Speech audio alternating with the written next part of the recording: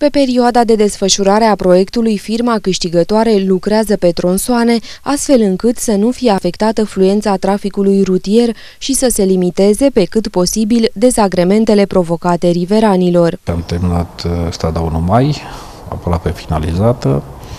Se va continua pe la Scărcatargiu, partea de, de trotuare se lucrează la ea și bordurarea este finalizată.